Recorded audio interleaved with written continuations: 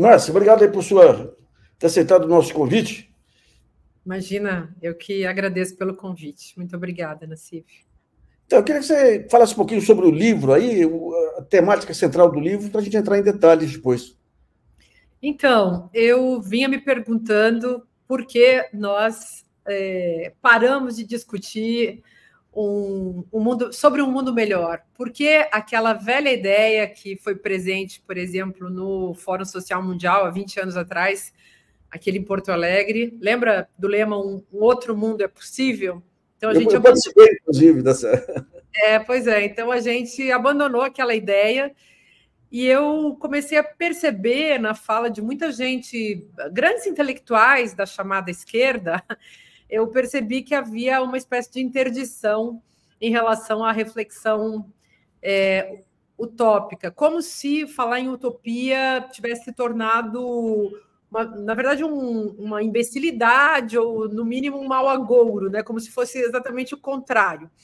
E eu, eu quis investigar, então, se não havia alguma. Fiquei desconfiada, né? Queria investigar se não havia alguma, algum outro interesse nesse discurso anti-utópico, ao mesmo tempo que as distopias avançavam, cresciam, ganhavam força. E não só na ficção, então as pessoas estão todas aí coladas em Black Mirror e aqueles outros seriados é, há muitos anos, né? Aquele, esses seriados é, é. de utopias, os filmes é, distópicos, aliás, né? Os filmes distópicos, as séries de televisão distópicas. E, é, e eu fiquei desconfiada de que tinha alguma tensão a ser investigada e por isso resolvi investigar tanto a utopia quanto a distopia e cheguei a essa conclusão de que era o mundo que estava em disputa que há uma tentativa de impor uma visão é, distópica a todo custo e se proíbe pensar num mundo melhor do que esse. E aí, qual é o pulo do gato? O pulo do gato é o seguinte: o capitalismo ele se oferece como uma espécie de é, utopia que foi colocada no lugar de uma distopia. Em termos muito simples, o mundo no qual a gente está vivendo é um mundo horrível, é um mundo de sofrimento, miséria, fome, desgraça doenças mil. É, é um mundo feio, é um mundo em que ninguém está feliz, e, no entanto, esse mundo, desse jeito, assim apresentado, é apresentado como se fosse o melhor dos mundos possíveis. E aí eu fui lá atrás também, lá na Margaret Thatcher, dizendo, lá nos anos 90, que não tinha alternativa para esse mundo, e isso virou uma verdade incontestável. Aí eu quis contestar tudo isso, Nassif, foi o meu projetinho nesse livro. A queda do Muro de Berlim, o fim da União Soviética foram uma tragédia, inclusive para o capitalismo, né? Para o capitalismo. Pois é, então, aliás, essa é a, questão. É, a guerra das narrativas ela acompanha, ela é parte fundamental da chamada Guerra Fria. Ela construiu o imaginário do século XX. E a gente ainda é herdeiro desse tipo de imaginário polarizado, é, um imaginário que visa sempre impedir que as pessoas tenham imaginação na política. Então, é um imaginário uh, entre o reacionário e o conservador, proibindo que as pessoas inventem alternativas, que elas criem caminhos é, de mais felicidade, um caminho de mais justiça, de bem-estar, enfim, tudo aquilo que pode ser, que pode desmontar ou que pode é, questionar, não precisa nem desmontar, vai, questiona o capitalismo, já é malquisto. E nisso a gente vai caindo é, num imaginário de violência, no imaginário de guerra, e também nessas alternativas aí, tipo comunismo imaginário, né? Então, não existe mais comunismo, mas todo mundo fica comuni gritando contra os comunistas, que nem existem, né? E uma coisa que me pegou muito, Nassif, nessa construção desse livro, foi o avanço do, de, desse delírio, não vou nem chamar de ideologia, porque não é uma ideologia, o delírio terraplanista. Hum. Então, o mundo em disputa, sobre o qual eu estou falando, é o mundo do nosso imaginário, da, o mundo que a gente construiu como uma ideia, né, que está aí é, uh, conceituado de diversas maneiras e usado dentro dessa polifonia linguística da gente, né? Então, todo mundo fala de diversas maneiras. Porém, então, você vai lá no René Descartes, no Giordano Bruno, é, mesmo na Guerra Fria, você vê é, União Soviética, Estados Unidos, todo mundo disputando o seu mundo. Só que apareceu a caricatura disso e ela ficou mais forte do que qualquer outra coisa, que é o terraplanismo. O terraplanismo é a caricatura sobre a, o conceito de mundo, sobre essa disputa. Então, as pessoas sentem como sentem uma tremenda dificuldade em, em conversar com uma pessoa que tem uma crença no terraplanismo e fica muito difícil justamente porque essa pessoa perdeu a razão. Ela, ela perdeu o, chão que todos nós costumamos ter sob os, sob os nossos pés. E então é, essas pessoas terraplanistas elas criam uma espécie de crença paralela, defendem essa crença, é, é na verdade um delírio.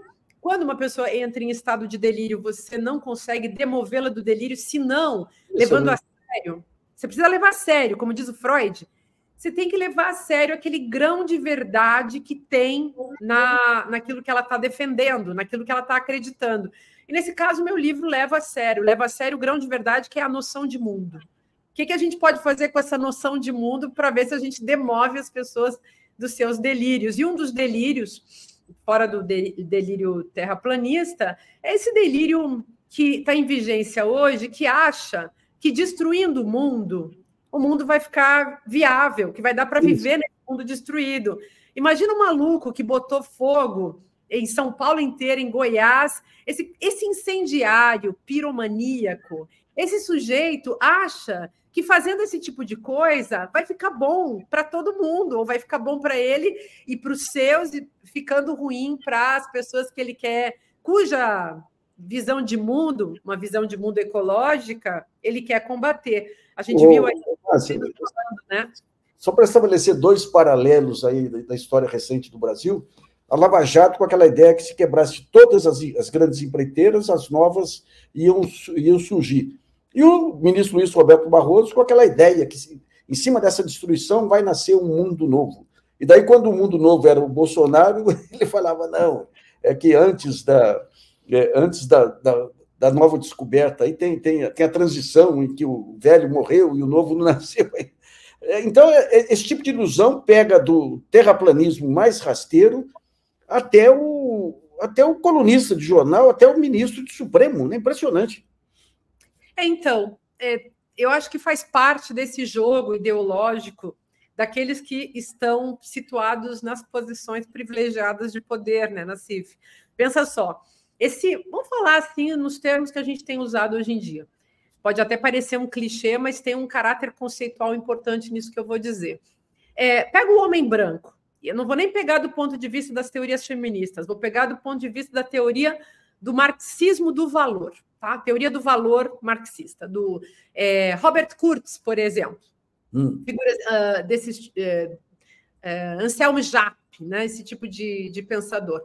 Eles falam disso, né? O homem branco é o valor, é, digamos assim, o, o, o grau zero da forma mercadoria. Ali, ele é o próprio capital, ele é o próprio Deus. Então, pensa, esse sujeito situado na posição absoluta né, do privilégio. Ele pensa que o mundo é seu. O, o cara que está lá no STF, ele é dono do Brasil e ele acha que o mundo é seu. Assim como o ruralista que está lá sendo dono de metade do Brasil, acha que o mundo é seu. O sujeito está investido no seu corpo dessa posição do privilegiado. Se ele carrega consigo uma instituição que ele representa, se ele carrega consigo um poder então institucional ou um poder, o poder do capital, ou o poder político no sentido genérico, não importa. Ele carrega em si um poder e ele acha realmente que o seu julgamento, que não é abstrato, porque o seu julgamento é sempre centrado na posição material e histórica que ele ocupa, a posição de privilégio aí nessa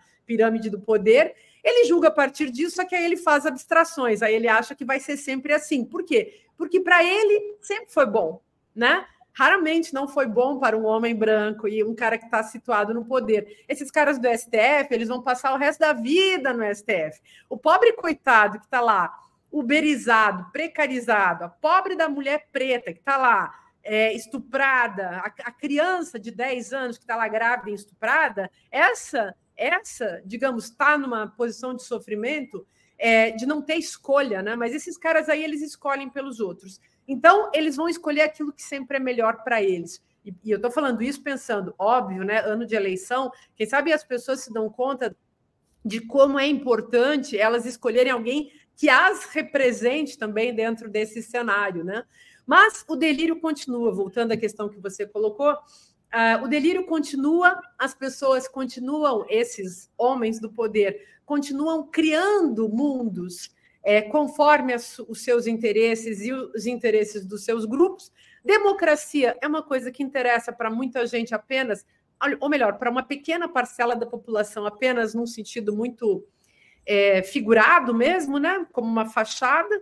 Uma democracia radical, que implicaria, assim, uma justiça distributiva, né? que é, implicaria é, participação real é, tanto no poder econômico quanto no poder político, isso tudo não entra em jogo para esses caras. Esses caras são capazes de botar fogo nas suas próprias terras. Esses caras são capazes de destruir as árvores, de desmatar a floresta sem a qual eles mesmos não vão respirar, né? É isso, é isso. Um detalhe aí é que a gente tem falado muito também, eu, nesse livro eu também falo disso, né? Tem inevitável pensar no caráter autodestrutivo desse tipo de capitalismo porque não é nem sequer um capitalismo mais naquele é, viés, vamos chamar, keynesiano do passado, né, que ainda tinha aquela noção de vamos, vamos produzir alguma riqueza. Né? Agora não precisa produzir riqueza na era do rentismo neoliberal, a gente fica só curtindo lá no banco, ver aqueles números, aqueles zeros aumentarem, e isso, claro, para essa meia dúzia de poderosos em dinheiro Marcia, mostra só a capa do seu livro aí e onde que, qual que é a editora. Aí, Ó, esse livrinho chama Mundo em Disputa. Ele tem como subtítulo Design de Mundo e Distopia Naturalizada. Saiu pela Civilização Brasileira, que é uma editora do Boa Grupo Record, lá do Rio de Janeiro.